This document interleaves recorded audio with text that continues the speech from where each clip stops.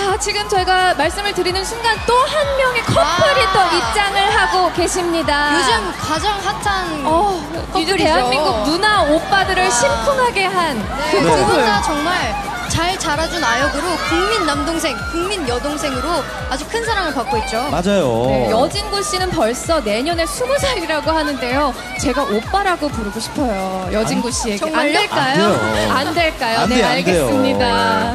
야, 근데 여진구 씨는 참 어, 여성분들에게 인기가 참 많은데요. 네. 또 김소연 씨는 점점 더 예뻐지는 외모로 삼촌 팬들의 마음을 사로잡고 있다고 합니다. 네. 자, 네. 이두 분이 오랜만에 또 커플로서 이렇게 레드카펫을 빛내주고 계신데, 어머, 오랜만에 만났어도 그 케미가 네. 여전하네요. 패션 어떤 것 같습니까? 아, 드레스. 서로를 배려한 패션? 어, 네. 그렇군요. 저한테 물어보지 마시고. 네. 지금 등장을 하셨으니까 직접 물어보도록 할까요, 어, 우리? 그러, 그럽시다. 네, 자 여진구 씨 그리고 김소연 씨가 입장을 하고 계십니다. 어, 지금 아, 예, 드레스가, 드레스 때문에 네. 네, 계단 오르는 게 쉽지가 않습니다. 네, 안녕하세요. 예. 아, 반갑습니다. 네, 안녕하세요. 이쪽으로 자리해 주시고요. 예. 안녕하세요. 자 먼저 두 분 인사부터 부탁드릴게요. 네 안녕하세요 배우 여진구입니다 반갑습니다. 네. 네 안녕하세요 김소연입니다 반갑습니다. 자, 김소연 씨. 네. 마마 처음이신가요?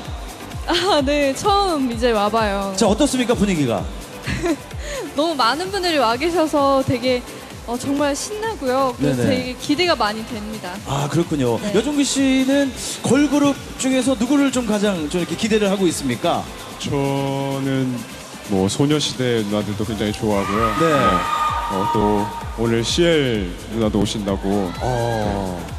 기대를 많이 하고 있습니다. 네, 아마 그분들도 여진구 씨를 기대하고 있을 거예요. 예, 예. 아, 좋습니다. 네. 아, 두 분 자리 빛내주셔서 너무나 감사드리고요. 감사합니다. 잠시 후에 본식에서 뵙도록 하겠습니다. 네, 감사합니다. 네, 감사합니다. 아, 네, 좋아요. 네.